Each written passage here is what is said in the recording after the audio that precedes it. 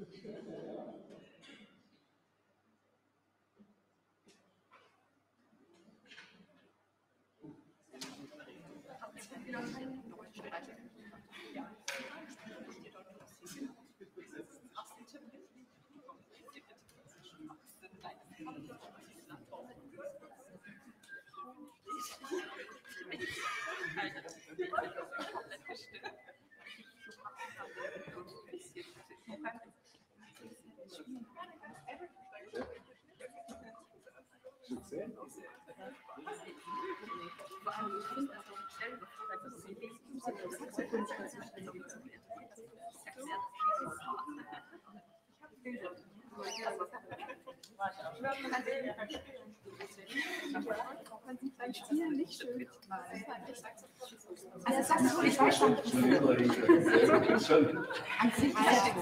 deine Zähne so drüber sind. Ja, ich auch in. Ja,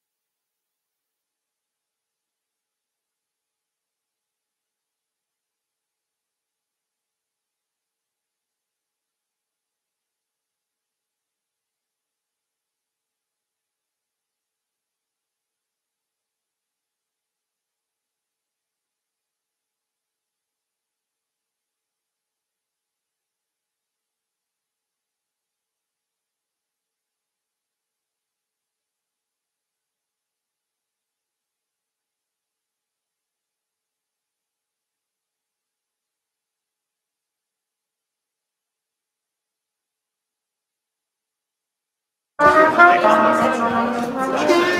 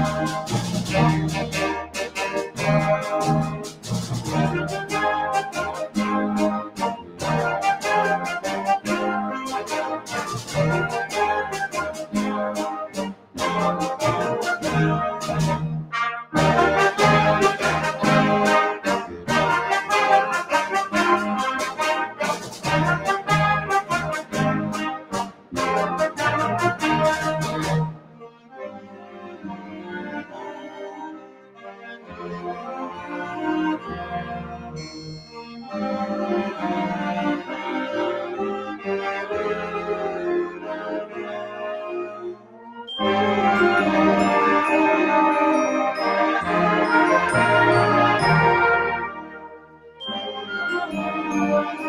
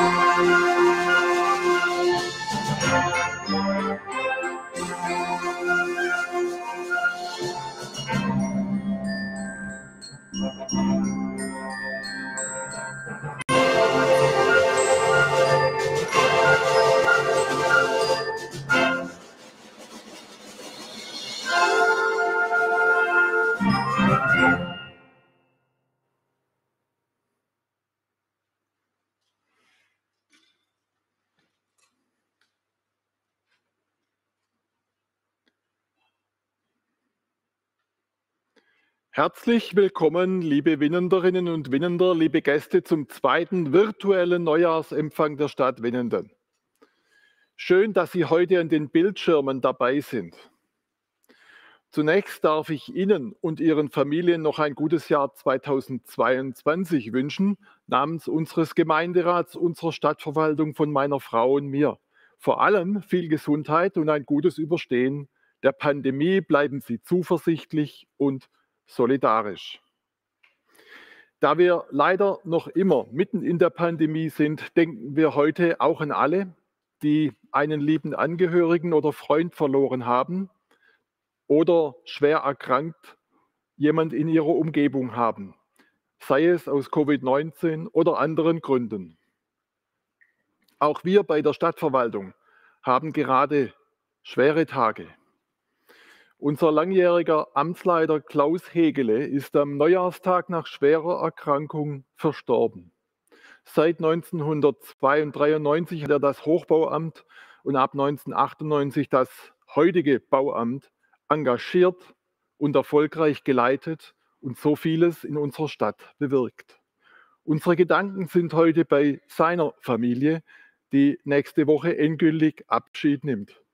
Die Lücke, die er bei seinen Kolleginnen und Kollegen und vor allem aber bei seiner Familie hinterlässt, lässt sich nicht schließen.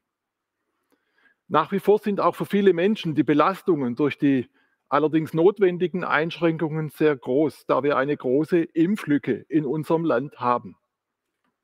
Lassen Sie uns solidarisch sein.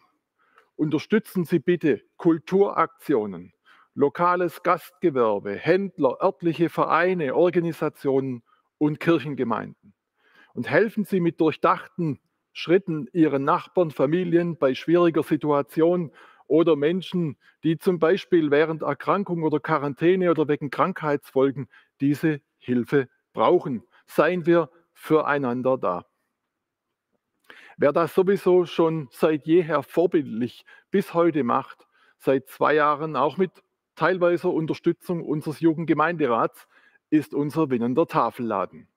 Und vor Weihnachten habe ich selbst einen schönen Geschenkkorb erhalten und dann habe ich gedacht, den bringe ich lieber genau dort vorbei und reiche ihn an die dortigen Aktiven weiter. Sie sehen es auf dem Foto.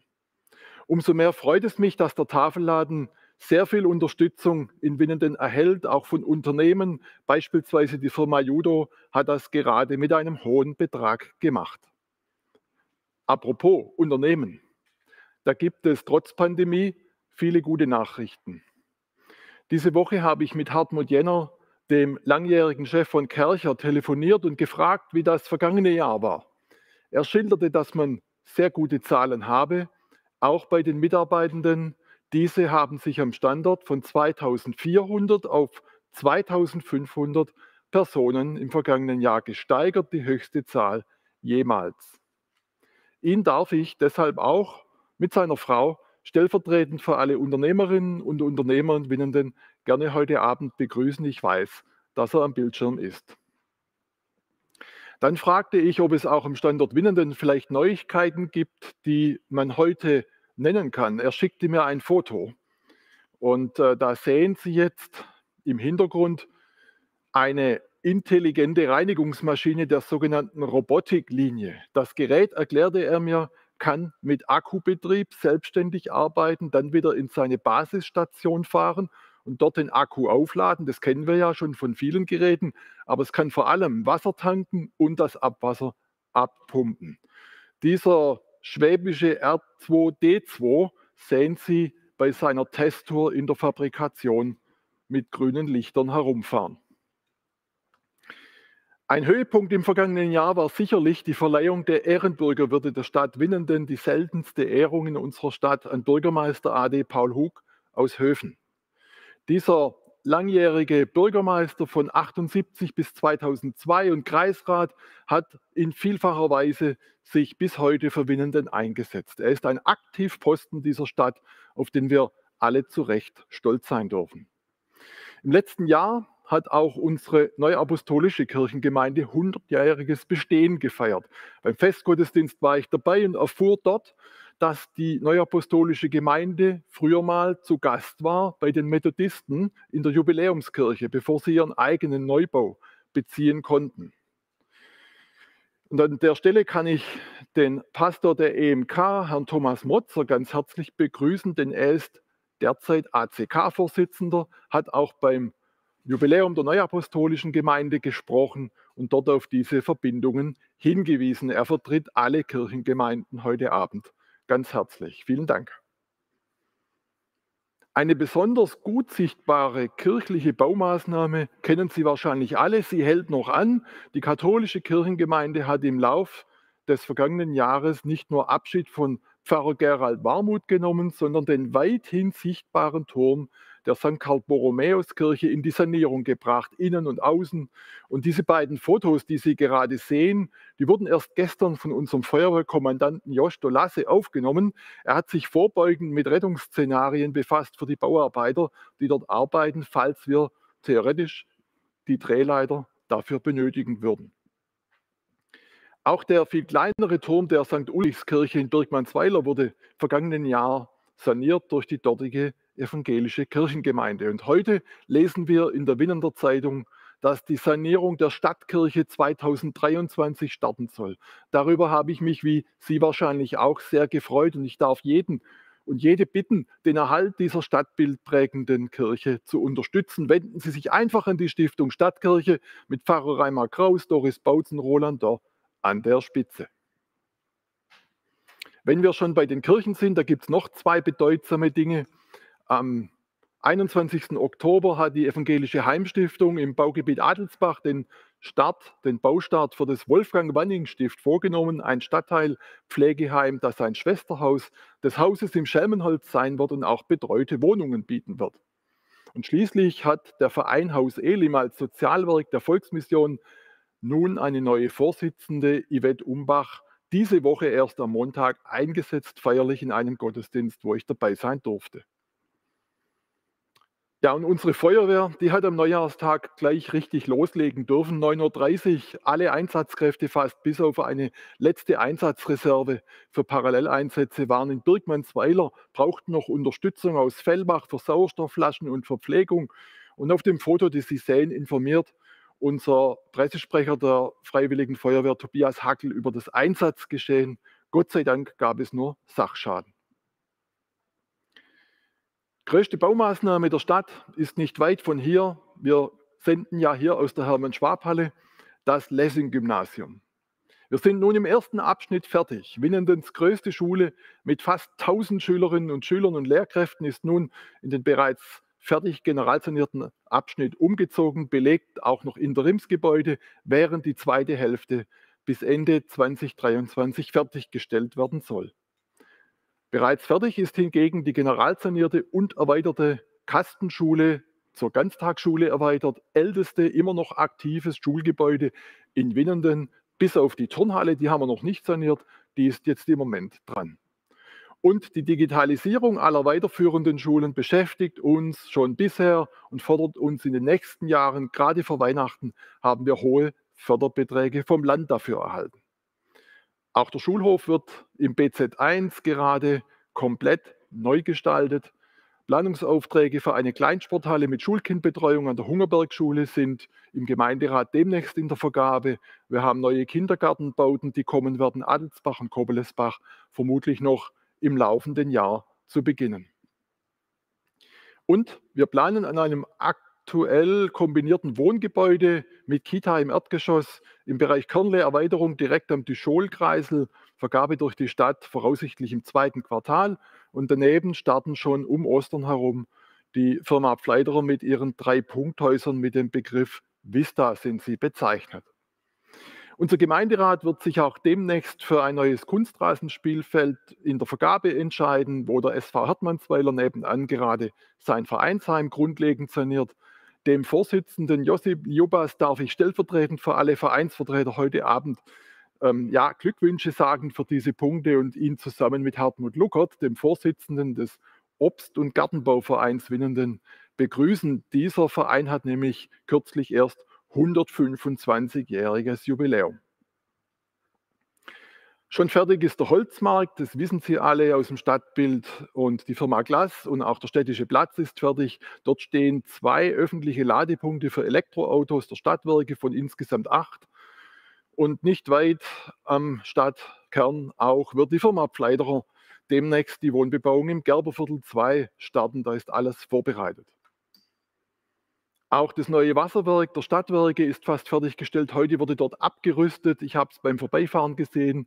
Sie sehen aus Richtung Birkmannsweiler auf dem ersten Foto, das gleich eingeblendet wird, auch eine Photovoltaikanlage, die erzeugt dann Strom für das Wasserwerk, ebenso wie perspektivisch auch ein Blockheizkraftwerk, das hier noch hinzugefügt werden kann am hinteren Gebäudeende und das für die Wärmeversorgung im Gebiet Bildstraße Erweiterung in Birkmannsweiler in der Zukunft sorgen kann. Wir denken, Sie merken es, hier integriert. Im zweiten Teil des Bildes sehen Sie jetzt mal rein in die Wasserkammer, die zum Teil erdebedeckt ist, dort in dem Wasserwerk. Da war der Gemeinderat bei der Begehung, da war natürlich noch kein Wasser drin. Und ähm, wenn dieses Projekt dann angefahren werden konnte, technisch, was demnächst erfolgen wird, dann haben wir so um Ostern rum in der gesamten Stadt weicheres Wasser die Verbraucher sparen damit, wir alle sparen, ähm, zum Beispiel bei der Hausenthärtungsanlage oder bei den Folgen von Kalkablagerungen in Geräten, Installationen, Waschmittel auch und so weiter. Ja, und unsere Stadtwerke haben noch mehr vor der Brust. Die werden mit städtischer Unterstützung auf Beschluss des Gemeinderats jetzt die Sanierung, die Generalsanierung des bereits 31 Jahre ununterbrochen im Betrieb befindlichen Wunnebads angehen. Ertüchtigung der gesamten Technik und vollständiger Neubau einiger Bauteile und vor allem ein neues Kursschwimmbecken fürs Schulschwimmen mit Hubboden als Ergänzung des bisherigen etwas kleinen Hallenbads. Dieses Projekt wird mit rund 28 Millionen die Stadtwerke die nächsten Jahre voll fordern. Und wir drücken die Daumen, dass die sehr sorgfältige Planung des Stuttgarter Büros Benisch sich trotz der zuletzt, wie wir alle wissen, aufschäumenden Baukonjunktur gut umsetzen und damit hieran auch der schon voran angepasste Kostenrahmen sich einhalten lässt. Bei uns ist viel los, auch im Rems-Murr-Klinikum, nicht nur wegen der Pandemie, auch baulich. Sie wissen, dort entsteht das neue Parkhaus. Das schafft Platz, dass die provisorischen Parkflächen zum Zipfelbach hin dann renaturiert werden können. Und auch die Piazza wird wieder autofrei weitgehend.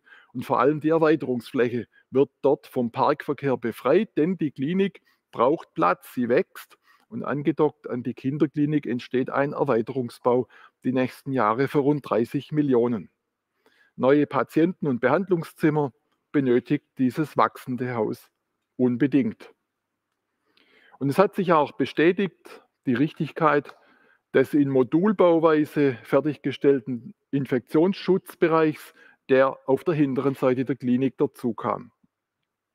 Bewährt haben sich auch unsere kommunalen Impfaktionen, um die Impflücke zu schließen seit März letzten Jahres mit Hilfe der Impfteams der Stuttgarter Kliniken, des Landkreises und seiner mobilen Impfteams und unserem DRK gab es tausende Impfungen in Dutzenden von Aktionen in Winnenden. Hertmannsweiler zum Beispiel gestern, danke an die Kirchengemeinde, heute und morgen im Rathaus in Winnenden auch eine extra Aktion seit dem 5. Januar das ständige Impfzentrum des Landkreises in der Linzenhalde bei der Paulinenpflege Danke dafür an die Paulinenpflege. Dort ist übrigens von 17.30 bis 20.30 täglich geöffnet, auch ohne Termin. Und schließlich Kinder 5 bis 11 impft die Kinderklinik des Rems-Murr-Klinikums auch hier in Winnenden für den ganzen Kreis. Und deshalb an dieser Stelle herzlichen Dank an alle, die hier aktiv dabei sind. Auch unser Testangebot erweitert sich wieder. Wir werden immer wieder angefragt, ob es ausreichend ist. Wenn Sie die Corona-Warn-App haben und nutzen, finden Sie folgende Karte, wo Sie alle Testmöglichkeiten sehen. Zwei sind besonders groß. Das Drive-In-Testzentrum von Herrn Hatzis am Wunibad-Parkplatz und die Teststation von Herrn Schäftelmeier am Kronenplatz. Und letzterer wird zudem im früheren Modehaus Hardys in der Marktstraße demnächst eine weitere Teststation eröffnen. Eine ganz besondere Aktion hat der Winnender Bernd Kussmaul durchgeführt. Ich möchte sie erwähnen. Sein in Weinstadt ansässiges Unternehmen Kussmaul hat anstelle 25-jährigem Firmenjubiläum und Weihnachtspräsenten an die Kunden und Partner etwas ganz anderes gemacht. Er hat sage und schreibe 2700 Dankeschön-Karten und Einkaufsgutscheine des attraktiven Winnendens und der Schorndorfer City über je 25 Euro für alle Mitarbeitenden der beiden Kliniken in Schorndorf und Winnenden zu Weihnachten verschenkt. Ich finde ein tolles, symbolhaftes Zeichen in dieser Zeit, um den ja, Beschäftigten dort Solidarität mitzugeben. Da kann man nur sagen, Chapeau. Der Rems-Murr-Kreis engagiert sich baulich in Winnenden aber noch weiter. So ist in den nächsten Jahren die komplette Renaturierung der Deponie Eichholz vorgesehen in mehreren Schritten. Neuer Recyclinghof wird dort auch entstehen. Und Sie wissen es, von Bach nach Bürg, die Kreisstraße wird erneuert. Das Foto zeigt die aufwendige Hangsicherung dort. Auch die Kreisbaugesellschaft ist an vielen Stellen in Winnenden aktiv, teilweise in direkter Partnerschaft mit der Stadt, beispielsweise in der Ortsmitte Höfen. Baustelle ist ja unterwegs. Und in Höfen, da hat sich auch der grüne Laden von Familie Luckert in neue Hände begeben, in gute Hände. Und der Bürgerverein und die Stadt sind am Spielplatz am Buchenbach aktuell gemeinsam unterwegs mit neuen Spielgeräten. Winnenden wird nachhaltiger. Der Gemeinderat hat die Klimaneutralität der Stadtverwaltung 2035 im Juli beschlossen. Nächste Woche startet dann bei uns ein neuer Mitarbeiter für die kommunale Klimaneutralität, eine vom Land maßgeblich geförderte Stelle. Und das junge Paar Lies Oberle und Florian Steiner hat den ersten Unverpacktladen in Winnenden beim Rathaus im Herbst eröffnet. Ich kann Ihnen den, ich sehe da immerhin von meinem Büro aus und bin auch selber manchmal dort, den wärmstens empfehlen. Und auch am Marktplatz tut sich einiges. Bäckerei Mildenberger ist dort neu, ein Eiscafé kommt dazu vor Ostern. Und zu erwähnen sind auch die Neugestaltung der Hauptfiliale der Bäckerei Maurer und natürlich dann ein neuer Spieleladen in der Entengasse für besondere Spiele, die man ähm, ja so als Fan spielen muss. Da müssen Sie mal reinschnuppern, um zu sehen, was ich da meine. Die größten Herausforderungen für die Nachhaltigkeit unserer Stadt liegen im Boden und auf der Straße. Vielleicht haben Sie es mitbekommen, unsere Stadtwerke haben zum Jahreswechsel den Betrieb des Gasnetzes in Winnenden von der EnBW-Tochter Netze BW übernommen. Zudem werden wir mit den Gemeinden Leutenbach und Schweigheim gemeinsam eine kommunale Wärmeplanung angehen. Kommunale Wärmeplanung ist der Schlüssel, mit dem Klimaneutralität im Gebäudebestand zukünftig denkbar wird. Und wie man das im Einzelnen machen kann, können Sie im neuen Gerberviertel sehen. Dort wurde ein Kanal mit Wärmerückgewinnung eingelegt für eine Heizzentrale der Stadtwerke. Ja, in diesem Jahr gibt es noch eine Baustelle am Bahnhof. Dort wird der zentrale Omnibusbahnhof barrierefrei erneuert. Und parallel hat uns auch ein Zuschussbescheid mit 4,3 Millionen Euro erreicht des Landes für die Umgestaltung der ehemaligen B14 zwischen Rewe-Kreuzung, Leutenbacher Kreuzung. Eine Maßnahme, die erst jetzt noch ausgeschrieben werden muss, dann Baubeginn vielleicht im Herbst oder im kommenden Frühjahr im ersten Abschnitt und sie wird mindestens zwei Jahre dauern. Hingegen fertiggestellt, Sie haben es vorhin im Jahresrückblick gesehen, haben wir die östliche Robert-Böhringer Straße, die komplett mit zehn neuen Baumquartieren erneuert wurde. Für den innerstädtischen Ausbau des Radverkehrs haben wir vor Weihnachten den wichtigen Abschnitt Radtangente Ost als Plankonzept online der Öffentlichkeit vorgestellt. Dazu läuft jetzt die Beteiligung für Anregung und Kritik weiter, was für die Weiterplanung wichtig ist. Es stehen ja auch Alternativen hier zur Entscheidung dann an und viele öffentliche Stellplätze sind davon betroffen. Deswegen ist viel Diskussion auch erforderlich, ein intensiver Austausch. Aktuell hat uns die Deutsche Telekom angekündigt, dass sie den Glasfaserausbau nicht nur partiell, sondern in allen Stadtteilen nun in Winnenden vorantreiben will. Wir sind da im Rems-Murr-Kreis an oberster Stelle auf der Ausbauliste der Telekom. Vielleicht hat mit dazu geführt, dass die Telekom so vorangeht, dass die Firma Netcom sich durchgesetzt hat bei einer Ausschreibung mit Fördermitteln, um alle Schulen, Schulgebäude von außen mit dem Glasfasernetz anzuschließen. Unsere Volkshochschule hat erst gestern ihr neues Frühjahrssemesterprogramm veröffentlicht, online schon und es ist auch gedruckt jetzt da, Motto mit der VHS um die Welt. Sie finden es, wie gesagt, im Netz, digital oder an bekannten Auslagestellen in Papierform. Alle Kurse sind online buchbar ab jetzt. Ja, wenn es wieder möglich ist, wollen wir in diesem Jahr auch wieder offizielle Begegnungen mit unseren beiden Partnerstädten Alberville und Santo Domingo. Wir haben uns jetzt letztlich zwei Jahre nicht gesehen. Das schmerzt und auch die offizielle Begründung der neuen Partnerschaft mit der Gemeinde Wald-Zietzenheim im Salzburger Land steht an. Wir haben zwar alle Beschlüsse, aber noch keine Partnerschaftsurkunde, weil halt keine Feier möglich war. Wir hoffen, das mit größerer Beteiligung hinzubekommen. Stichwort Beteiligung. 2022 planen wir Bürgerversammlungen in allen Stadtteilen in der Hoffnung, dass diese im Sommer vor allem wieder in Präsenz möglich sind die Festlegungen werden wir mit dem Gemeinderat dazu noch treffen. Sie sehen, unsere kommunalpolitische Arbeit ist in vollem Gange. Dank eines Gemeinderats, der in der Pandemie ohne irgendeinen Abstrich intensiv weitergearbeitet hat, wofür ich an der Stelle diesem Gremium und allen seinen Mitgliedern persönlich und sehr herzlich Danke sagen will. Dazu beigetragen hat sicherlich, dass wir seit bald zwei Jahren praktisch alle Sitzungen hybrid, also für die Teilnehmenden online zugänglich durchführen. Dies ist seit Mai 2020 rechtlich möglich und wir gehören zu den ganz wenigen Kommunen, die diese Option durchgängig nutzen. Aus dem Gremium kam auch schon der Wunsch, dies nach der Pandemie, wenn das Land dafür die rechtlichen Möglichkeiten geschaffen haben sollte, auch fortzuführen. Mein Dank gilt der gesamten Stadtverwaltung, die all die zusätzlichen Aufgaben der Pandemie bis heute erfolgreich gestemmt hat. Allen Mitarbeitenden in Schulen und Kitas und allen weiteren städtischen Einrichtungen, auch in schwieriger Zeit, die alle ihre Bereiche am Laufen halten. Auch hier ein dickes Dankeschön.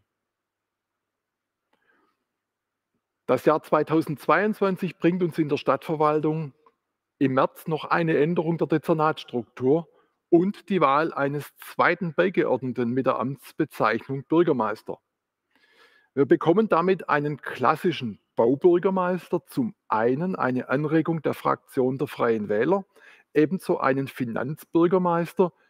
Und das ist wie in vielen großen Kreisstädten eigentlich das normale, vernünftige, eine gute Aufgabenteilung. Und angesichts der Ihnen heute auch, glaube ich, doch auch klar gewordenen Aufgabenfülle ist das eine notwendige und angemessene Struktur für Winnenden für die Zukunft.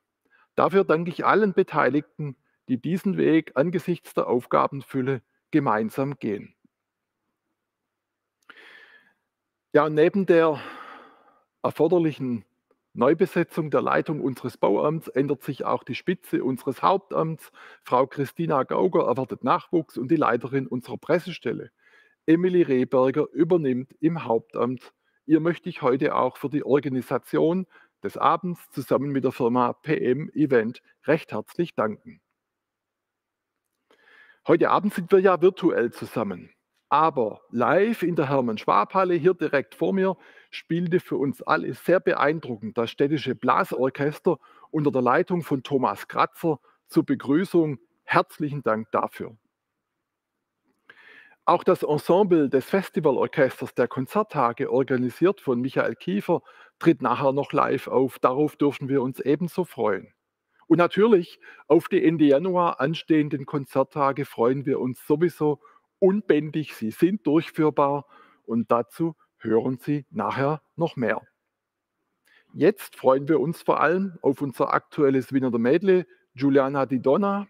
Sie wird gleich persönlich zu Ihnen sprechen, aber vorher geht es erst einmal mit ihr auf eine kleine Tour durch Winnenden, ein Dreh, der schon im Spätsommer stattgefunden hat. Das sehen Sie an den Bäumen dort im Bild.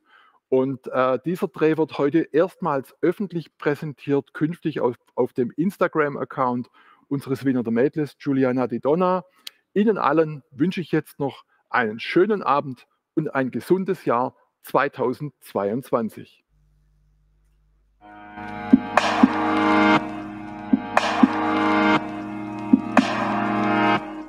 Hallo, ich bin Juliana, das Win in der Mädle und ich freue mich, dass ihr heute alle hier auf meinem Instagram-Account gelandet seid. Euch erwartet heute eine kleine Tour durch Winnenden mit ganz vielen Örtchen und ich würde sagen, damit fangen wir jetzt auch direkt an.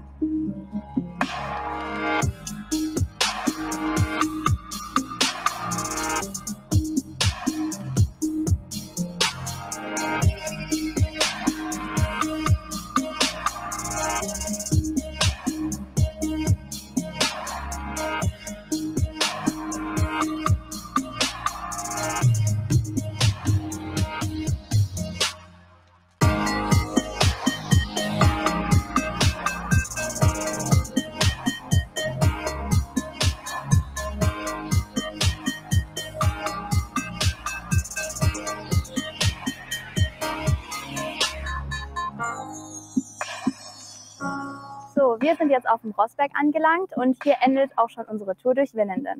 Ich hoffe, es hat euch allen gefallen und bis zum nächsten Mal. Tschüss!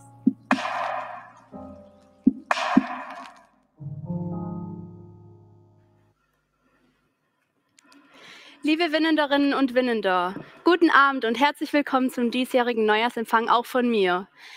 Nun sind wir dieses Jahr wieder virtuell unterwegs, aber man sagt ja immer, die Hoffnung stirbt zuletzt. Und genau mit der Einstellung gehe ich auch ins Jahr 2022. Vielleicht treffen wir Sie ja im nächsten Jahr hier in der Hermann-Schwab-Halle persönlich an. Ich bin heute hier Entschuldigung. Ähm, Sie haben gerade eben mein Video gesehen zu, dem, äh, zu der Tour durch Winnenden und ich hoffe, es hat Ihnen gefallen. Wie Herr Holzwart schon erwähnt hat, Sie können dieses Video bei mir ab morgen auf meinem Instagram-Account nachschauen und es ist dort veröffentlicht. Ich bin heute hier, weil ich ein Interview durchführen darf mit drei tollen Persönlichkeiten aus Winnenden bezüglich eines ganz tollen Events, was uns schon sehr bald hier in Winnenden erwarten wird. Und zwar die Winnender Konzerttage vom 29. Januar bis zum 5. Februar 2022. Direkt hier zu meiner Rechten sehen Sie Frau Sibylle Mack, die Leiterin des Amtes für Schulen, Kultur und Sport. Direkt daneben Herrn Matthias Mundel, Leiter der Musik- und Kunstschulen in Winnenden. Und Michael Kiefer, der Organisator des Festivalorchesters. So, und jetzt wollen wir nicht zögern. Wir fangen nämlich direkt an mit dem Interview, um Ihnen allen schön alle Informationen zu den Konzerttagen 2022 zu liefern. Frau Mack, an Sie geht die erste Frage und auch die spannendste, würde ich mal meinen. Und zwar, was ist denn allgemein bei den Konzerttagen 2022 für uns Winnender und Winnenderinnen geboten? Ja, und vielen Dank. Also allerhand ist geboten. Wir haben zusammen mit dem künstlerischen Leiter Claudio Borges, glaube ich, eine wunderbare Konzerttagewoche zusammengestellt. Es geht los dieses Mal in der Schlosskirche mit einer festlichen Blechbläsergala. Ein hervorragendes Ensemble hat sich gefunden um Trompeter Rainer Schnabel und unseren Kirchenmusikdirektor Gerhard Paulus.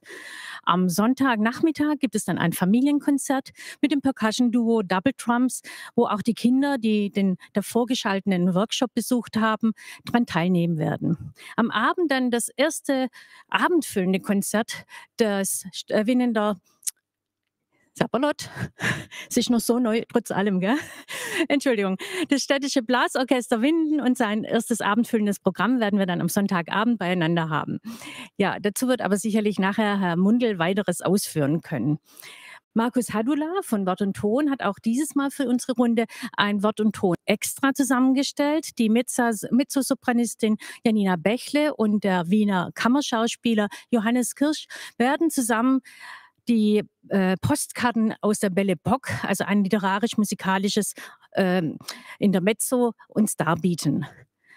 Der in Winden bereits bekannte und schon aufgetretene Echo-Preisträger und Tubist Andreas Martin Hofmeier hat die Einstellung, lieber ohne Worte. Und insoweit sagt er, Lieder und Arien müssen eigentlich instrumental dargeboten werden und hat ein einzigartiges Kammermusikformat entworfen. Er wird zusammen mit Andreas Mildner an der Harfe dann da sein. Wir haben dazu noch Gäste aus Frankreich. Das heißt, wir haben das französische Musik-Comedy-Duell zu Gast. Das wird ein Abend mit virtuos gespielter Musik gepaart mit hinreißendem Slapstick sein. Und natürlich hat unser künstlerischer Leiter Claudia Borges wieder wunderbare Solistinnen hier nach Winden eingeladen. Und wir freuen uns auf zwei Abende mit Boris Profstin an der Violine, ebenso an der Violine Diana Tischenko. Es wird Paul Meyer mit der Klarinette da sein und Gareth Lubbe äh, in der Viola und natürlich selbst Claudia, Claudio Borges mit seinem Violoncello. Entschuldigung. Sie werden uns zwei Abende, einen Kammermusikabend und eine romantische Klassiknacht bescheren. Die, klassische Musiknacht wird dann zu dem Kurpfälzischen Kammerorchester zusammen stattfinden. Und die Reihe der Abendkonzerte wird dann abgeschlossen mit einem großartigen Mozart-Purabend des Festivalorchesters. Zu dem möchte ich noch gar nicht so arg viel sagen, weil nachher Herr Kiefer das ja sicherlich uns noch viel besser als Organisator erläutern kann. Wichtig ist vielleicht an der Stelle zu erwähnen, dass die Preise des Musikwettbewerbs des Vorgeschalteten an diesem Abend an junge Winderinnen und Winder überreicht werden. Aber das ist für die Konzerttagewoche noch nicht alles. Wir haben auch noch ein Begleitprogramm. Wir werden an den Vormittagen in den Windender Kirchen Wandelkonzerte haben. Wir werden in den Windern Schulen Musik für junge Ohren darbieten. Und wir hoffen, dass die Bedingungen so sind, dass wir auch die Bewohnerinnen und Bewohner in den Pflegeheimen mit teilhaben lassen können an unseren Konzerttagen. Ja, ich denke, wir haben ein sehr attraktives Programm zusammengestellt. Ich bin schon sehr begeistert und freue mich und hoffe, dass ich Sie damit inspirieren konnte. Da bin ich mir ganz sicher. Dankeschön für die schöne Aufführung. So, nun gehe ich weiter zu Ihnen, Herr Kiefer. Ich habe eine Frage an Sie. Sie sind ja professioneller Musiker, das ist ja allbekannt. Und Sie haben über Winden hinaus bestimmt sehr gute Kontakte zu jeglichen Musikern und Musikerinnen. Was würden Sie denn für sich selber sagen, was die Konzerttage dieses Jahr so einzigartig macht? Konzerttage sind äh, deswegen einzigartig, weil sie, um in einer musikalischen Sprache zu bleiben, einen Dreiklang bilden. Und zwar zwischen der Zusammenarbeit von winnender Amateurmusikern, von winnender Profimusikern und von internationalen Spitzenkünstlern. Das ist eigentlich die Charakteristik der Konzerttage schon immer gewesen. Und das, diese Mischung macht eigentlich auch das Besondere aus. Auch dieser, eben dieser lokale Bezug hier in Winnenden also für unser Festivalorchester kann ich sagen, dass wir eine Solistin aus Winnenden haben mit der Paulina Krauter und zum Beispiel unsere Cello-Gruppe, da, das sind drei Cellisten. Da wird der Herr Richtberg, der wohnt in Winnenden, ist Cellist am SWR Symphonieorchester spielen. Dann wird der Herr Brade, mit dem ich nachher äh, zusammen musizieren werde, der ist in Winnenden an der Musikschule Lehrer Cellolehrer, der wird dabei sein. Und der dritte im Bunde wohnt ebenfalls in Winnenden, das ist der Marius Gaube, der in Weiblingen Cello unterrichtet. Also Sie sehen, hier haben wir wirklich also eine Gruppe, die zu 100 Prozent aus Winnenden kommt. Das ist nicht in jeder Instrumentengruppe so, aber das ist eigentlich so auch der Sinn jetzt des Festivalorchesters. Okay, da freut man sich auf jeden Fall drauf. Jetzt geht es weiter zu Ihnen, Herr Munde. Und zwar, die Ensembles und Orchester sind ja schon seit mehreren Jahren in Winnenden bei den Konzerttagen sehr mitwirkend. Und in Winnenden gibt es ja auch sehr viele junge Musiker und Musikerinnen mit unglaublich großem Talent und Potenzial. Nun die Frage an Sie. Wir haben ja vorhin schon bereits das Städtige Blasorchester gehört, was sich sehr, sehr schön angehört hat, muss ich jetzt an dieser Stelle auch mal an Sie sagen. Ähm, inwiefern sind denn die Konzerttage dieses Jahr eine Bereicherung für die Musikschule, aber auch für jegliche junge Künstler, äh, Musiker und Musikerinnen? Konzerttage sind zusätzlich zu den unter dem Jahr stattfindenden Veranstaltungen in Winnenden eine große Motivation für die jungen Musikerinnen und Musiker. Die Konzerttage bieten professionelle Rahmenbedingungen und stellen damit eine große Herausforderung für die Mitwirkenden dar. Schließlich wollen die Ensembles der Musikschule dem Niveau der Konzerttage entsprechen. Es ist besonders und prägend und ein prägendes und besonderes Erlebnis und eine Ehre für die jungen Musikerinnen und Musiker, bei den Konzerttagen dabei sein zu können. Für die Musiker aus der Musikschule und dessen Umfeld, ich denke hier zum Beispiel auch an, die, an das Konzertorchester, waren die Auftritte bei den früheren Konzerttagen von großer Wichtigkeit und künstlerisch erfolgreich. Noch dazu erreichten wir ein großes Publikum und konnten auf die gesellschaftliche Aufgabe der Musik- und Kunstschule hinweisen. Auch ist die Musikschule durch die Durchführung des Winnender Musikwettbewerbs und dem Programm Junge Ohren, Frau Mack hat es vorher schon angesprochen, eng mit den Konzerttagen und dem Kulturamt verknüpft. Okay, vielen Dank. So, nun geht es wieder an Sie, Herr Kiefer, und zwar das Festivalorchester, was wir später auch noch ein Ensemble von hören werden, tritt am 5. Februar um 19 Uhr hier in der Hermann-Schwab-Halle auf. Das können Sie sich auch schon mal merken, liebe Zuschauer und Zuschauerinnen. Und im wie ich gerade gesagt habe, im Anschluss an dieses Interview dürfen wir gleich noch einen ersten Vorgeschmack bekommen. Welche Konzerte würden Sie denn außerhalb des Festivalorchesters noch an alle Zuschauerinnen und Zuschauer empfehlen? Ja, da fällt mir jetzt natürlich schwer, etwas herauszupicken. Das möchte ich eigentlich auch nicht. Aber Sinn der Konzerttage ist ja eigentlich der, äh, dass man zum Beispiel jemanden hat, der sich für die lokalen Kulturschaffenden interessiert und der beim Durchblättern des Programmes sieht, aha, das sind ja noch andere tolle Programmpunkte und dann vielleicht auch ein anderes Konzert besucht, wie genauso, wenn einer nur die Spitzenmusiker hören möchte, vielleicht sieht, ah, das könnte ja vielleicht auch interessant sein. Also ich äh, möchte einfach nur äh, das potenzielle Publikum darum bitten, neugierig mal das Programm durchzublättern. Und ich denke, jedes Konzert ist es wert, dass man es besucht. Dankeschön, das glaube ich auch. Nun nochmal eine Frage an Sie, Herr Munde. Und zwar bei den Konzerttagen 2022 erwarten uns ja professionelle Musiker und Musikerinnen, aber auch Hobbymusiker und Musikerinnen. Somit gibt es ja einen guten Mix. Wir haben ja vorher bereits das städtische Blasorchester gehört. Dieses tritt ja auch am 30. Januar, auch um 19 Uhr hier in der Hermann-Schwab-Halle auf mit dem Thema ähm, Cinema in Concert.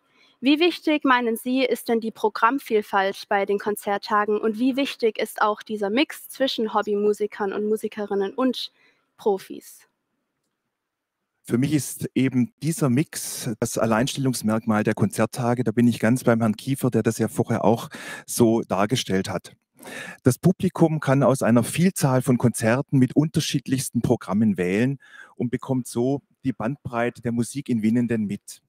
International bekannte Musiker und Musikerinnen, winnender Profis und der engagierte und talentierte Hobbymusiker, sie musizieren zusammen. Hier vor Ort höchstes Niveau, unkompliziert und nah. Die Akteure lernen aber sich auch untereinander kennen und verstehen. Das geschieht zum Beispiel beim Besuch der Künstler in den Schulen, beim gemeinsamen Musizieren auf der Bühne oder im Gespräch backstage. Okay, danke schön. So, nun kommen wir schon zum Schluss des Interviews. Nur noch mal die letzte Frage an Sie, Frau Mack. Und ich würde auch meinen, die wichtigste. Können Sie uns denn sagen, wo ich und auch alle hinter dem Bildschirm die Tickets bekommen können und vielleicht, was man auch in Zeiten wie diesen eventuell noch beachten sollte? Also das sage ich Ihnen mit Vergnügen. Und zwar finden Sie zum einen alle Interviews oder alle, alle Informationen auf der Webseite. Das ist www.konzerttage-minenden.de. Dort können Sie sich direkt online dann die Tickets über Reservix buchen. Oder Sie gehen hier an die bekannten Vorverkaufsstellen, das heißt in den I-Punkt der Stadtwerke, in die Stadtbücherei oder in das Reisebüro Pflüger und können dort vor Ort Ihre Tickets erstehen. Beachten müssen Sie insoweit, wir halten uns an die Vorgaben, die im Augenblick gelten. Das heißt 2G plus, also Sie brauchen einen tagesaktuellen Testnachweis, äh, ebenso den Impfausweis, aber das sind Sie alle schon geübt. Dazu haben wir, wie es notwendig ist, die Kapazität, die Saalkapazität um 50 Prozent reduziert. Wir sitzen also alle entsprechend auf Abstand und ich bin mir sicher, dass wir dadurch ein sicheres Gefühl haben und umso mehr die Musik und diese Abende genießen können. Das glaube ich auch. Dankeschön. So, liebe Winnenderinnen und Winnender, Sie haben es von allen drei Persönlichkeiten gehört und sind nun bestens informiert über die Konzert Konzerttage, die schon sehr bald auf uns zukommen werden. Ich würde mal sagen, kaufen Sie sich die Tickets, gucken Sie in den Broschüren, was für Sie zuspricht und genießen Sie, wie Winnenden in die Welt der Musik eintaucht. Ich würde nun sagen, wir wollen gar nicht mehr weiter zögern und genießen direkt gleich den ersten Vorgeschmack auf die Konzerttage 2022 und wir hören ein Ensemble des Festivalorchesters unter der Organisation von Michael Kiefer, den wir gerade schon gehört haben. Sie hören ein Quartett für Oboe, Violine, Viola und Cello, den ersten Satz Allegro von Wolfgang Amadeus Mozart ein Stück und nun Bühne frei.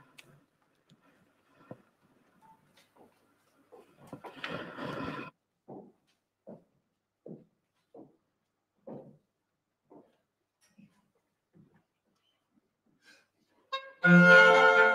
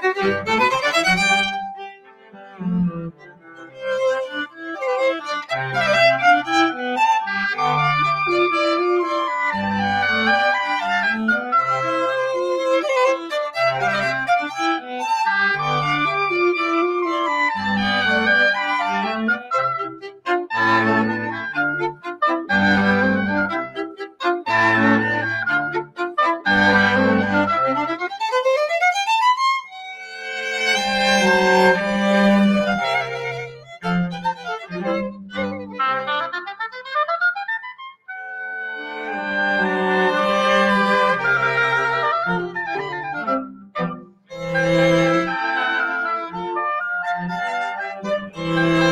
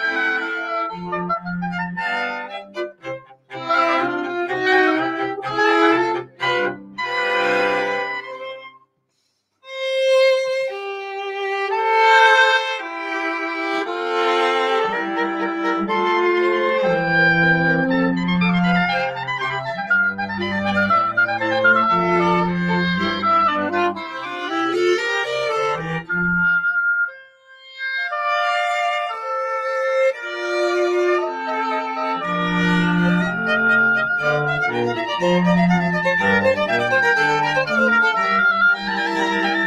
you.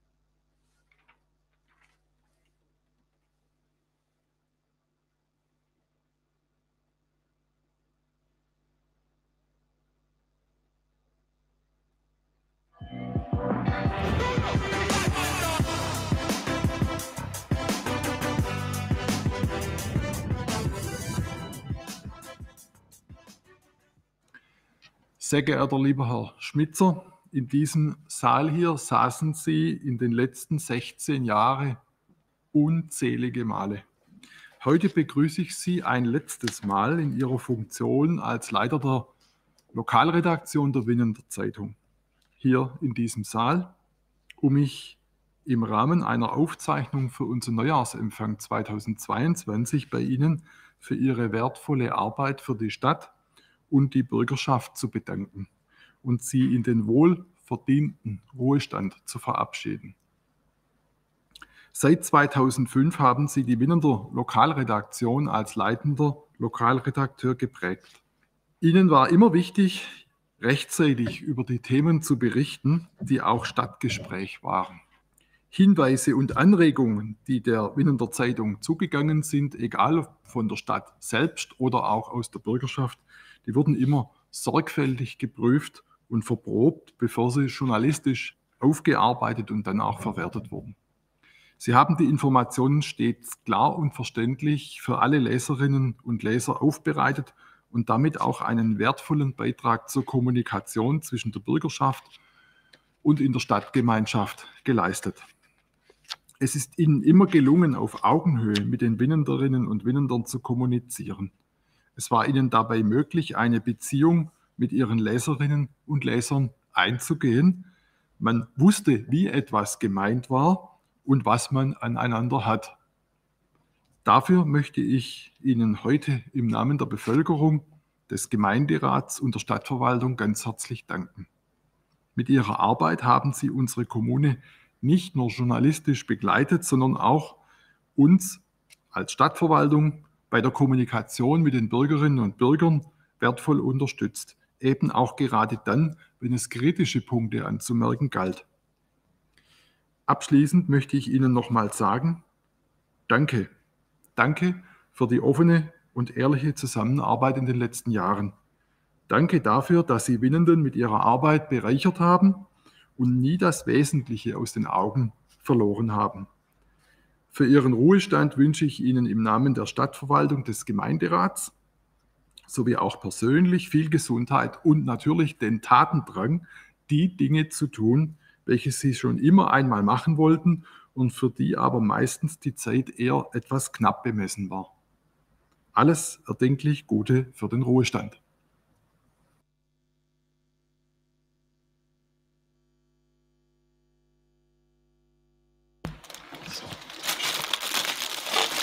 So.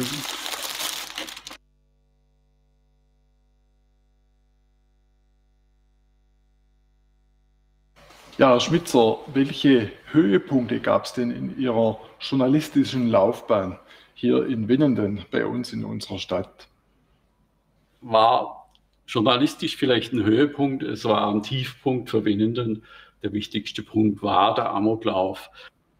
Gibt es denn in der gesamten journalistischen Tätigkeit, die Sie hinter sich haben, eine besonders lustige Anekdote, von der Sie uns heute erzählen möchten? Ich mag keine modernen englischen Fremdwörter. Und ich versuche immer wieder, wenn ich irgendwo so ein Wort in einer Verlautbarung habe, versuche ich immer wieder eine Übersetzung zu finden für diese Wörter. Und ganz am Anfang, als die Smartphones eingeführt wurden, war der Begriff Smartphone neu. Der kam halt auf und jeder hat nur noch vom Smartphone gesprochen und geschrieben und ich wollte das nicht. Am Anfang zumindest nicht. Und dann habe ich in einer Meldung von der Volkshochschule, die einen Kurs angeboten hat für Senioren, dass sie äh, das Smartphone gut bedienen können, habe ich aus dem Smartphone ein Wischtelefon gemacht und habe geschrieben, Kurs für Senioren, wie bediene ich das Wischtelefon? Dann saß in der Volkshochschule ich glaube, es war die Frau Hindemith von der Volkshochschule, saßen da, haben die Anmeldungen entgegengenommen, kam ein Senior und hat gesagt, Sie machen doch einen Kurs fürs Wischtelefon. Den möchte ich machen. Die Frau Hindemith wusste nicht, was ein Wischtelefon ist. Ich hätte so eine Scheibe Smartphone. Was würden Sie jungen Journalistinnen und Journalisten heutzutage empfehlen, wenn sie in ihren Beruf gehen? Ich würde jedem jungen Journalist raten, wenn er gerade äh, noch auf dem Gymnasium ist oder im Übergang vom Abitur zum Studium, würde ich jedem raten, gehen Sie zu Ihrer Lokalredaktion und fragen Sie, ob Sie ein Praktikum machen können. Da können Sie sich ausprobieren, da können Sie zum ersten Mal in Journalismus reinkommen und da lernen Sie noch äh, den gediegenen, soliden Lokaljournalismus. Was planen Sie in Ihrem Ruhestand? Ja, da gibt es gar nicht viel zu planen. Das meiste ergibt sich von ganz von allein. Ich will auf jeden Fall nach meine Enkelkinder schauen. Die sind in Dresden und in München. Und da will ich öfter hinfahren und will bei meinen Enkelkindern sein und für die auch da sein.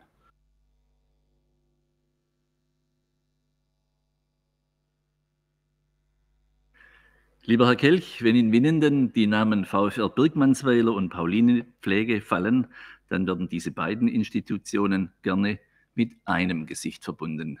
Marco Kelch. In Ihrem Verein, dem VfR Birkmannsweiler und bei Ihrer Arbeit der Paulinenpflege Winnenden sind Sie eine feste Größe, die kaum mehr wegzudenken ist. Marco Kelch, man kennt Sie, weil Sie sich seit vielen Jahren über das normale Maß hinaus bei Ihrem Verein, dem VfR Birkmannsweiler, engagieren und weil Sie die Stimme der Paulinenpflege sind. Lassen Sie uns kurz zurückschauen. Im Jahr 1992, also vor rund 29 Jahren, wurden Sie in den Vorstand des VfR Birkmannsweiler gewählt.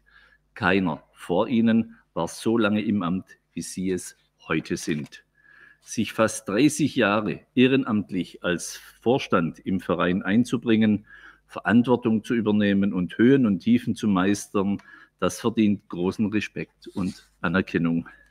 Und es verdient vor allem Dank für die vielen Stunden an Lebenszeit, die Sie, lieber Herr Kelch, in den VfR Birkmannsweiler einbringen.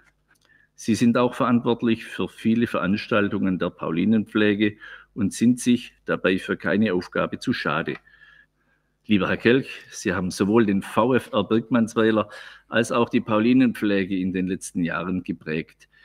Mit ihrer unaufgeregten und freundlichen Art und ihrer strukturierten und zielführenden Arbeitsweise sind Sie ein unglaublich wertvoller Mensch für den VfR Birkmannsweiler, die Paulinenpflege und für Winnenden. Heute überreiche ich Ihnen als Dank und Anerkennung für Ihr tägliches Wirken die Bürgermedaille in Bronze der Stadt Winnenden. Die Stadt Winnenden, der Gemeinderat, Oberbürgermeister Hartmut Holzwart und ich sind froh und dankbar, dass Winnenden einen so engagierten und zuverlässigen Bürger wie Sie hat. Herzlichen Glückwunsch.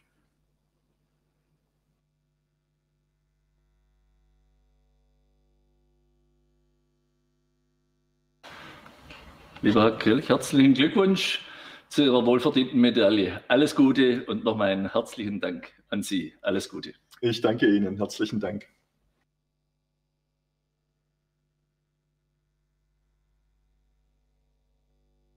Ja, lieber Herr Kelch, Sie engagieren sich außergewöhnlich im VfR Birkmannsweiler in Ihrer Freizeit und auch in der Paulinenpflege. Sind Sie vorne und hinten das Gesicht, das Sprachrohr? Wie kriegt man das hin? Beruf und Arbeit und dies in dieser Intention. Ich mache das auch so, wie es vermutlich andere machen. Ich tue die Dinge hintereinander weil gleichzeitig ist nicht so einfach. Ich habe einen acht oder neun Stunden Job und damit bleibt eigentlich der Abend für die Vereinsarbeit. Und ich möchte jetzt niemandem Angst machen vor dem Ehrenamt. Das ist in der Regel nicht mehr als ein Abend in der Woche. Man kann das schon leisten. Und ich muss dazu sagen, alles, was da geschieht, ist immer eine Teamleistung. Keiner ist Einzelkämpfer und es soll auch keiner denken, dass er völlig unentbehrlich sei. Ähm, Vielleicht ist es auch die richtige Stelle, um meinem Team ein Dankeschön zu sagen, denen, die seit vielen Jahren da mitmachen. Herr Kelch, bei so viel Engagement wird sehr wahrscheinlich wenig freie Zeit mehr bleiben. Was machen Sie dann? Wie engagieren Sie sich in der Familie oder noch im Freundeskreis? Wie muss man sich das vorstellen? Was bleibt dann noch an Lebensqualität? Es bleibt natürlich noch Freizeit. Ähm, es sind viele Abende frei, es sind die Wochenenden frei, es ist nicht jeden Woche, das Wochenende was im Sportverein. Ich mache selber gerne Sport, ich gehe mit meiner Frau zusammen tanzen oder wir gehen Radfahren oder wir gehen einfach nur spazieren. Ähm, da bleibt schon noch Zeit fürs Leben oder auch mal für einen Theaterbesuch oder was anderes Kulturelles. Ja, lieber Herr Kelch, im nächsten Jahr feiert die Paulinenpflege 200-jähriges Bestehen wollen Sie uns kurz neugierig machen, was uns in diesem Jahr erwartet. Vielen Dank. Ja, die Paulinenpflege ist 1823 gegründet worden. Das heißt, es ist gerade noch ein Jahr hin, bis das Jubiläumsjahr beginnt. Ähm, es ist völlig klar, dass eine Einrichtung wie die Paulinenpflege feiern wird. Wir werden die Binnen der Bevölkerung und die Bevölkerung der Umgebung einbeziehen. Es wird einen Empfang geben mit dem Ministerpräsidenten. Es wird ein besonders großes Jahresfest geben. Wir werden erstmals eine umfassende historische Aufarbeitung machen. Wir haben von Anfang an ein tolles Archiv, das wird gerade ausgewertet und es wird ein Buch entstehen. Und wir werden vor allem auch in die Fachwelt, in die Gehörlosenpädagogik hinein, in die Autismuspädagogik hinein Fachveranstaltungen machen. Und wir werden für die Leute, die wir da sind, Feste organisieren. Wir werden interne, interne Feste machen mit unseren Klienten.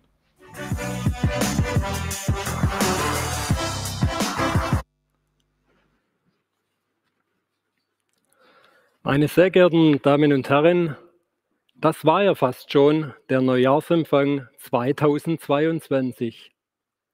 Ich fand ihn sehr interessant und kurzweilig und er hat Vorfreude auf das Jahr 2022 geweckt. Heute haben wir einen Vorgeschmack auf die Konzerttage bekommen. Ich persönlich freue mich, das ein oder andere Konzert zu besuchen. Außerdem arbeiten wir frohen Mutes weiter an den Vorbereitungen für den City-Treff sowie an der Backhäusles-Tour und den Weintagen. Doch jetzt noch zwei besondere Hinweise zum Schluss. Erstens die Wahl des Winnender Jugendgemeinderats vom 28. Januar bis 21. Februar 2022. Gleich hierzu ein Kurzinterview. Zweitens der neue Look der Stadt Winnenden. Hierzu präsentieren wir Ihnen zum Schluss ein Imagevideo. Zunächst zur Wahl des Jugendgemeinderats. Hierzu darf ich die amtierende Vorsitzende des, Gemeinde, des Jugendgemeinderats, Jill Weber, begrüßen. Guten Abend, Jill. Guten Abend. Wir haben gehört, dass die Wahl des Jugendgemeinderats ansteht. Können interessierte Jugendliche sich überhaupt noch aufstellen lassen? Und wenn ja, was müssen sie dafür tun? Ja, also alle Jugendlichen in Winnenden können sich auf jeden Fall noch ausstellen lassen. Es ist so, als ich habe gestern, wo das Rathaus dann ähm, offen war, noch vor dem Wochenende die Info bekommen, dass bisher sechs Jugendliche sich immerhin schon beworben haben. Ähm, 16 Jugendgemeinderäte, Jugendgemeinderätinnen sind zu wählen. Von daher sind auf jeden Fall noch mindestens zehn Listenplätze frei, wenn man so will. Ihr könnt euch noch bis zum 17. Januar um 12 Uhr bewerben, also bis Montag 12 Uhr. Ähm, da es doch jetzt dann eine relativ kurzfristige Bewerbung ist, würde ich euch empfehlen, ähm, das Bewerbungsformular dann einzuwerfen. Wo ihr das Bewerbungsformular findet, alle Winnender Jugendlichen ähm, haben vom Oberbürgermeister einen Brief bekommen, wo zum einen die Informationen über die Wahl drinstehen und zum anderen eben das Bewerbungsformular. Jetzt kann es ja mal passieren, dass so ein Bewerbungsformular verloren geht und es entweder im Müll landet oder man es doch irgendwo verlegt. Das ist halb so wild. Ihr könnt auf die Homepage der Stadt Winnenden gehen oder einfach im Internet Jugendgemeinderat Winnenden eingeben. Ähm, da findet ihr ganz viele Informationen über uns und eben auch dieses Bewerbungsformular. Das könnt ihr als PDF runterladen, ausdrucken, kurz ausfüllen. Das ist eine Sache von zwei Minuten und dann eben im Rathaus einwerfen. Jetzt sind Sie schon viele Jahre im Jugendgemeinderat und seit einiger Zeit auch Vorsitzende des Jugendgemeinderats. Was macht denn der Jugendgemeinderat? Die Aufgaben vom Jugendgemeinderat können sich in zwei Felder teilen. Zum einen unsere Partys. Wir veranstalten im Regelfall dreimal im Jahr für circa 450 Jugendliche Partys.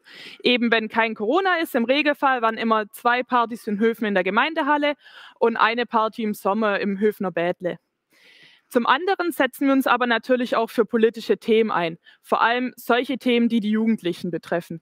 Welche Themen genau im Jugendgemeinderat spezialisiert behandelt werden, hängt immer von den Mitgliedern ab, da sich da natürlich je nachdem, wer gewählt wird, die Interessen unterscheiden. Ist ein Thema den Jugendgemeinderäten besonders wichtig, besonders interessant, dann macht er von seinem Rede- und Anhörungsrecht im Gemeinderat Gebrauch, indem er eine Stellungnahme verfasst und diese dann auch vorträgt. Einige werden sich jetzt denken, ach, das interessiert doch sowieso den Gemeinderat und die Stadt überhaupt nicht. Da liegt ihr komplett falsch, denn es ist nämlich so, dass der Jugendgemeinderat in Winnenden eine sehr, sehr hohe Stellung hat, sowohl bei der Stadt als auch beim Gemeinderat. Unsere Anliegen werden ernst genommen und im Regelfall auch umgesetzt. Manchmal werden wir sogar bei ganz speziellen Themen auch speziell von der Stadt oder vom Gemeinderat darauf angesprochen, uns da zu beteiligen. In meiner Zeit ähm, gab es viele unterschiedliche Themen in der letzten Amtsperiode ähm, war es so, dass die zwei größten Projekte, denke ich, zum einen der Lessingbau war, wo mich jetzt auch sehr gefreut hatte, als ich äh, dort letzte Woche Werbung gemacht habe, dass da der erste Bauschnitt rum ist, weil es einen dann doch freut, wenn man dann auch sieht, es hat ein Ergebnis, was man macht, wofür man sich einsetzt. Und dann eben ähm, das Nichtaufstellen der Container auf dem Sportplatz am Hungerberggebiet neben der Hungerberg-Grundschule. Was sind Ihre persönlichen Highlights gewesen als Jugendgemeinderätin? Mm, ich kann mich da gar nicht auf ein spezielles Highlight beschränken, ähm, weil es einfach eine zu unbeschreibliche Zeit auch war. Ich würde sagen, es gibt drei Ereignisse, über die ich besonders oft nachdenke und die mir besonders in Erinnerung geblieben sind. Das war zum einen das 25-jährige Jubiläum des Jugendgemeinderats. Da hatten wir hier in der Hermann-Schwab-Halle einen offiziellen Teil und dann auch später noch eine große SWR3-Party. Ähm, dann hatten wir das Glück, gerade noch vor Corona, ähm, unsere Partnerstadt Albert Wild zu besuchen, zusammen mit dem Herrn Oberbürgermeister, ähm, dem Herrn Starke und unserem Jugendreferenten äh, Manuel Schulz und unsere große digitale Podiumsdiskussion zur Landtagswahl, für die äh, ich damals extra mit unserem äh, Volkshochschulleiter ähm, zusammen in die Filmstudios der Volkshochschule nach Reutlingen gefahren sind. Ähm, war sehr viel Aufwand tatsächlich, aber der Aufwand hat sich gelohnt, weil über 180 Zuschauer, speziell auch Schülerinnen und Schüler der Winnender Schulen zugeschaltet haben. Gut, und zum Schluss noch zwei Fragen. Wer darf wählen und wie können Jugendliche ihre Stimme abgeben? Es dürfen alle Jugendliche wählen, die in Winnenden geboren sind und zwischen dem 22. Februar 2003 und dem 21. Februar 2009 geboren sind. Wenn es soweit ist, bekommt ihr nochmal vom Herrn Oberbürgermeister bzw. der Stadt einen Brief und in dem Brief findet ihr zum einen alle Bewerberinnen, inklusive persönlicher Daten und ihrer Motivation, warum sie sich beteiligen wollen und einen TAN-Code. Der Code ist ganz wichtig, weil damit könnt ihr euch dann digital einloggen und ganz entspannt vom Sofa aus mit Smartphone, Tablet, PC oder sonstiges wählen. Falls ihr die Unterlagen nicht bekommen solltet, eure Freunde aber schon, was dann natürlich sehr merkwürdig ist, dann meldet euch direkt bei der Stadt, beim Herrn Stagel, findet ihr alle ähm, in Telefonnummern, Kontaktdaten dann auch online. Auch wenn ihr den TAN-Code äh, verlieren solltet, ist das auch nicht schlimm. Dann ruft da an. Hauptsache, ähm, ihr geht wählen und ihr nutzt die Chance, dass ihr wählen gehen könnt. Gut, vielen Dank, liebe Jill. Vielen Dank auch für das jahrelange Engagement im Jugendgemeinderat. Sie dürfen in der kommenden Amtsperiode, und das muss ich zu einer jungen Dame jetzt sagen, aus Altersgründen nicht mehr kandidieren. Ähm, vielen Dank für das interessante Interview. Also, falls Sie jemanden kennen oder selbst Lust haben, beim Jugendgemeinderat mitzumachen, dann schnell an den PC und die Bewerbung absenden. Es lohnt sich auf jeden Fall, sich aufstellen zu lassen und oder zu wählen. So, das war jetzt der Beitrag zur Jugendgemeinderatswahl. Kommen wir noch zum zweiten Hinweis. Der neue Look der Stadt Winnenden. Dem einen oder anderen unter Ihnen ist es bestimmt bereits aufgefallen, vielleicht sogar auf den Einladungen zum Neujahrsempfang der Stadt Winnenden. Sie hat seit Anfang des Jahres einen neuen Look. Lange Zeit gab es in Winnenden nur ein Logo und keine einheitliche Kommunikation nach außen. Nun präsentiert sich die Stadt mit einem modernen, reduzierten und hochwertigen Logo, das sich abhebt und ein frisches Smaragdgrün als Primärfarbe hat. Die Farbe Grün findet sich bereits im bestehenden Logo und im Wappen der Stadt Winnenden. Grün ist die Farbe des Wachstums, der Natur, der Lebendigkeit und Lebenskraft. Zum Auftakt des neuen Logos und Corporate Designs haben wir ein kurzes Image-Video aufgenommen, das wir Ihnen heute als Abschluss präsentieren möchten. Mir bleibt daher nur noch zu sagen, es war schön, dass Sie heute beim virtuellen Neujahrsempfang der Stadt Winnenden dabei waren. Ich möchte mich für die Mitwirkung bei unserem Winnender Mädle Juliana Di Donna herzlich bedanken und überreiche einen Blumenstrauß. Vielen Dank, Dankeschön. Juliana. Vielen Dank für die schönen Blumen. Danke. Ja, was bleibt uns beiden? Wir wünschen Ihnen alles Gute für das Jahr 2022 und viele wunderschöne Momente und Erinnerungen. Genau, schönes Jahr 2022.